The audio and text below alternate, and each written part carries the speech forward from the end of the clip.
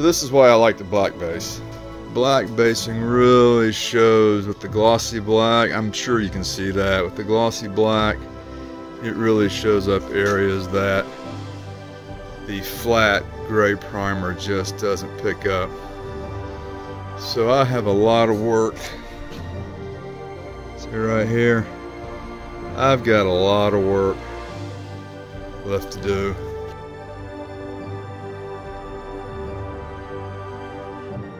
Most of this black base will be wet sanded off.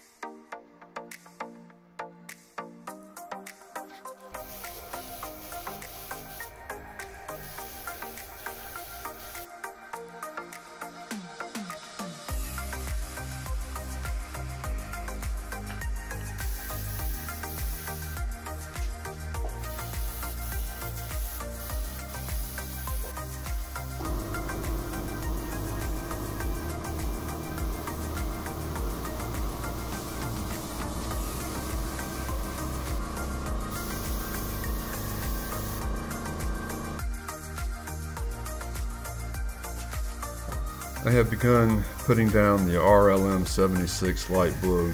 You'll see that the undercoat is not an even consistent coat. There is some of the silver remaining, some of the black guide coat remaining, and some of the different colors from the putty that I used. I left it this way on purpose as I wanted to try to get some shading effects in the top coat as I put down the, the RLM 76 and the other colors that come later. This is still a technique that I'm working on trying to get better at. I obviously don't want to put down a whole lot of paint because as we all know in the RC community, paint adds weight and weight means the model doesn't fly as well.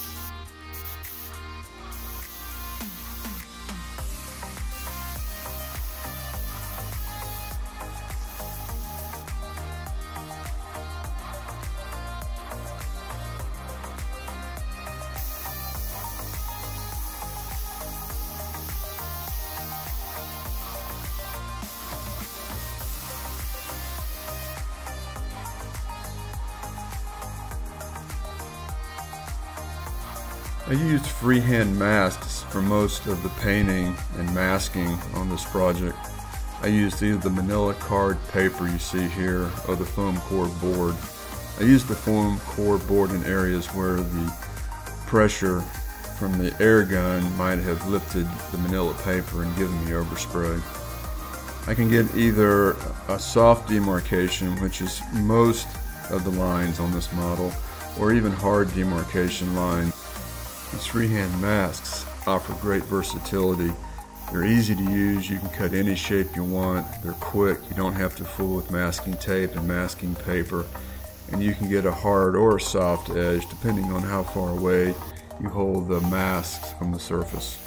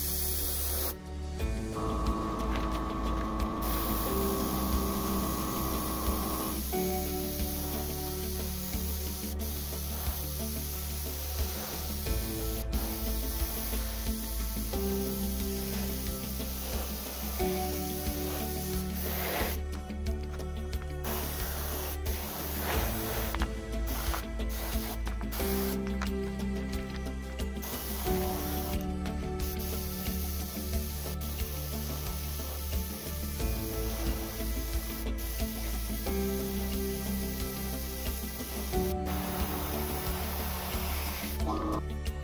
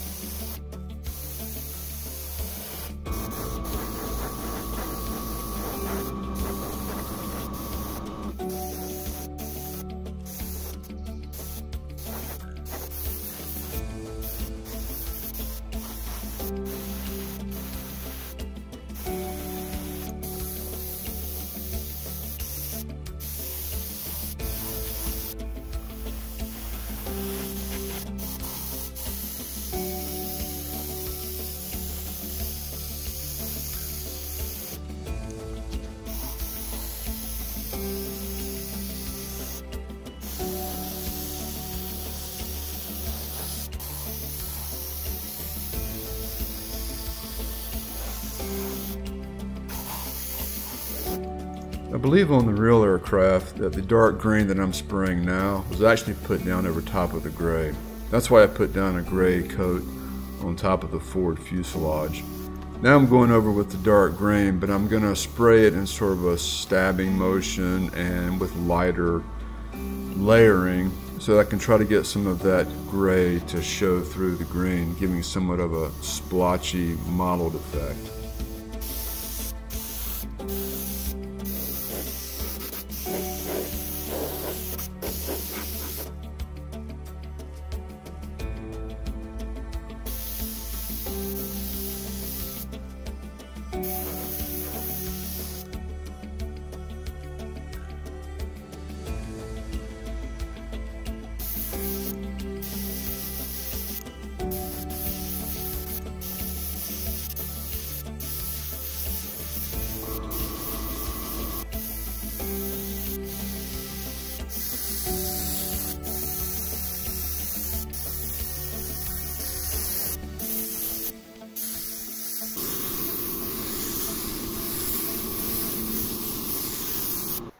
So we're down to painting the tiger stripes. Now this is going to be a do or die moment right here. I really only get one shot at doing this. I did some practice. Make sure I had the good paint flow, right viscosity of the paint, right pressure, all that good stuff. The trick was to try to get the stripes without getting a lot of overspray or spatter using my depiction of the aerial airplane, I've lightly drawn in some pencil lines. And this is what I use as my guide. If I can just cover up these pencil lines, I think the paint will be thick enough. And it goes all the way, it's hard to see on the gray, but it goes all the way back to here and then finally back here at the tail.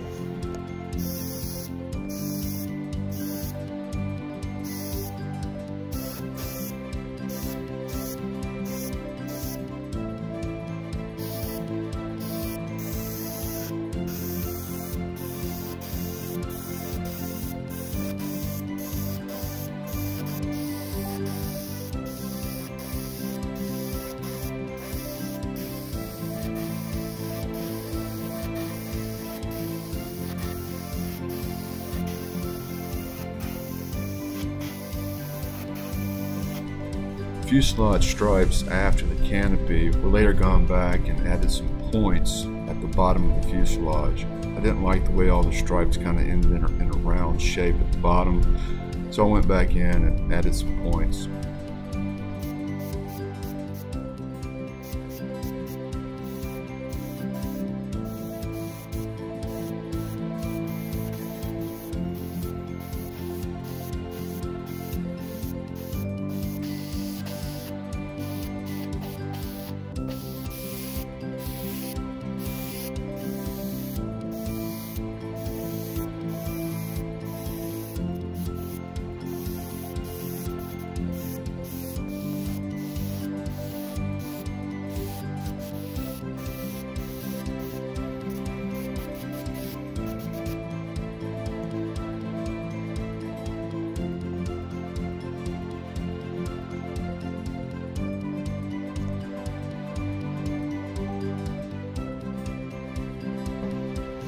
The last thing to do was to make a cap for the front end. And so I made this out of uh, clear plastic. Uh, that'll be the next video coming up, show you how I did that. It's basically just the plunge method of making a uh, plastic part. So I, I, just painted it so it's still a little bit uh, damp when it's dry, I'll go ahead and glue it on the front here. It's a pretty good representation. It's not perfect, but it's good, pretty good representation.